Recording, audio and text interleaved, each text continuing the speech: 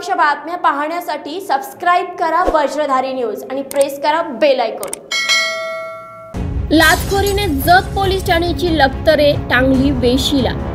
जत पोलिसांचे मलईवर लक्ष वरिष्ठांचा धाक शून्य.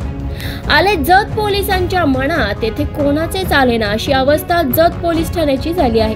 जत पोलीस ठाण्याच्या आवारात पाय ठेवले की तिथे कोणाचा कोणाला मेळ नाही हे सहज लक्षात येतं. शिकारी ज्या पद्धतीने आपले सावज शोधत असतो अगदी तशाच काहीशा परिस्थितीत ठाण्यात आहे.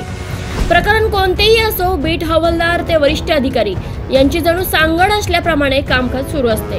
गुन्हेगारांना पोलिसी खाक्या दाखविणारे पोलीस तर आता दिसेनासेच झाले. मलईवर ताव मारणाऱ्या जत पोलिसांच्या वृत्तीमुळे जत पोलीस ठाण्याची लक्तरे पुरती वेशीला टांगली गेली आहे सदरक्षणाय खलनिग्रहणाय कायदा सर्वांना सारखाच. जो कायद्याचा सन्मान करतो त्याचा आम्ही सन्मान करतो असं फलक वाचले की सर्वसामान्यांचा ऊर तर भरून येतोच. त्याचबरोबर त्यांना आधारही मिळतो. आपल्यावर अन्याय झाला तर आपल्याला न्याय मिळेल अशी आशा असते. पण जत पोलीस ठाण्यात मात्र मागील वर्षभरापासून असं चित्र पाहावयास मिळत नाही हे दुर्दैव. गावोगावी भांडण तंटे झाले किंवा अन्य कोणता प्रकार घडला की पोलिसांची मलई सुरूच झाली समजायची. पोलीस खात्यात भरती होताना सर्वसामान्यांची सेवा करण्याची शपथ घेऊन नव्याने पोलीस खात्यात दाखल झालेले तरुण पोलीस नेमके उलट वागत असल्याचं दिसून येत आहे.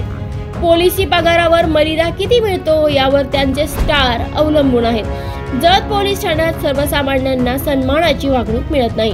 उलट सेटलमेंट कारभार सुरू असल्याचं लाचखोरीच्या घटनेनं उघड झालं आहे.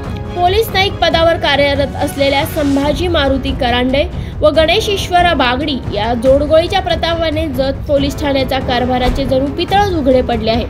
या जोडगोळीने अपघातातील गुन्ह्यात अडकलेल्या मदत करण्यासाठी त्याची दुचाकी सोडवण्यासाठी पाच हजाराची नव्हे तर थेट पंचवीस हजाराची लाच मागितली.